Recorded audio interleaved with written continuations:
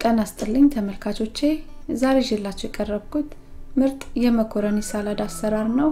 እንደምትወዱት እርግጠኛ ነኝ። አሁን ወደ አሰራሩ እንሄዳለን።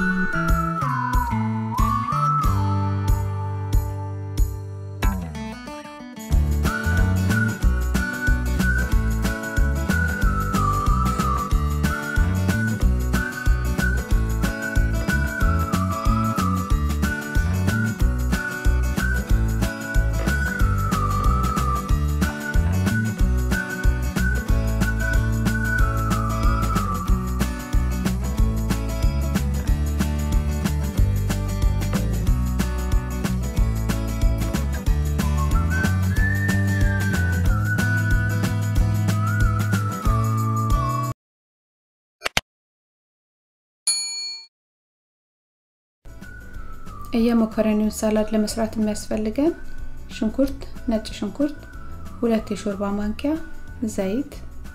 ዘይቱን olive oil ነው የተጠቀምኩት። ባለን ዘይት መስራት እንችላለን።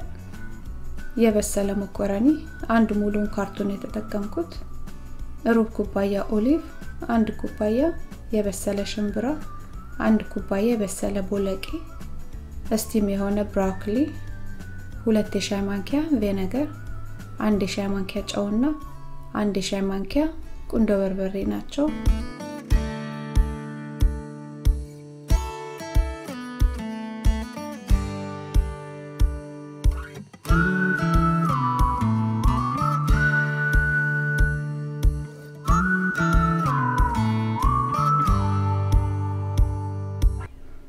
በመጀመሪያ የሰላዱን ማጣፈጫ ነው የምናዘጋጀው። በሁለት የሾርባ ማንኪያው ዘይት ላይ ሁለት ራሱን ነጭ ሽንኩርት ድቅቅ አድርገን ከትፈን ወይም በዚህ መልኩ እናስገባዋለን። ከዛም ሁለት የሻይ ማንኪያ ቬነገር እናስገባለን። ቬነገሩን የባልሰሚክ ቬነገር ነው ያስገባሁት። ባለን ቬነገር ወይም በቬነገሩ ፋንታ ሎሚ ማስገባት እንችላለን።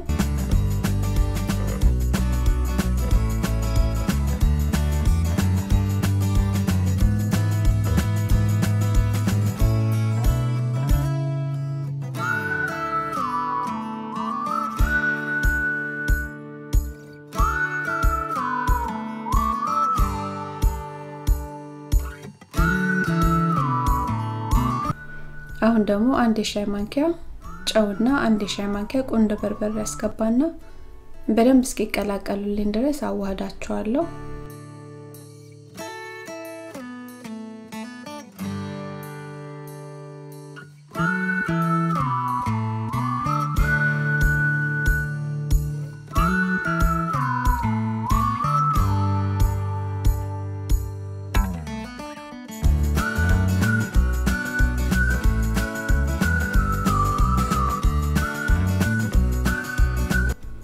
እስቲም የሆነውን ብሮኮሊ በሽንኩርት መፍጫ ደቀቅ አድርጌ ፈጭቼ አዘጋጅቼዋለሁ።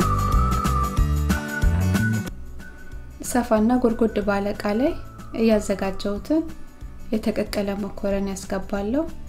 ከዛም የተፈጨውን ብሮኮሊ፣ ሽምብራውን፣ ቦለቄውን፣ ኦሊቭንና ሽንኩርቱን አስገባለሁ።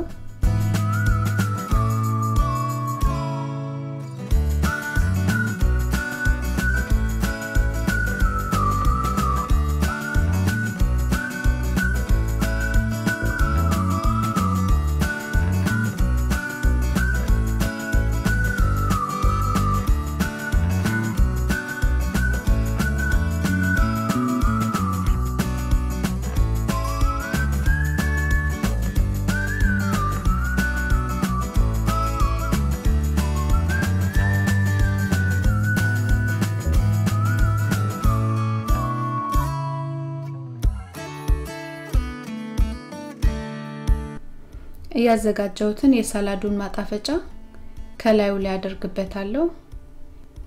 ከዛ ሙሉ ለሙሉ እስኪቀላቀሉልኝ ድረስ አዋህዳቸዋለሁ።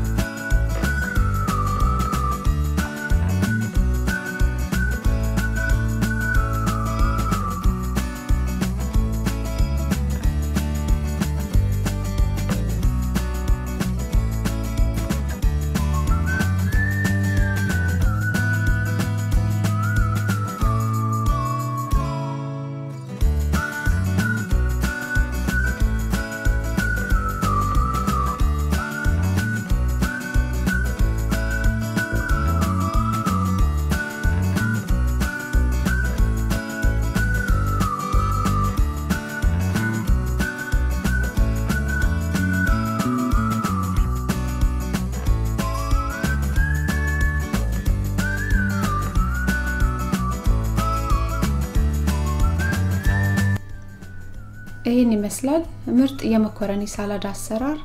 እንደወደዳችሁት እርግጠኛ ነኝ። አስተያየት፣ ጥያቄ ካላችሁ እቀበላለሁ። አመሰግናለሁ። ደህና ሁኑ።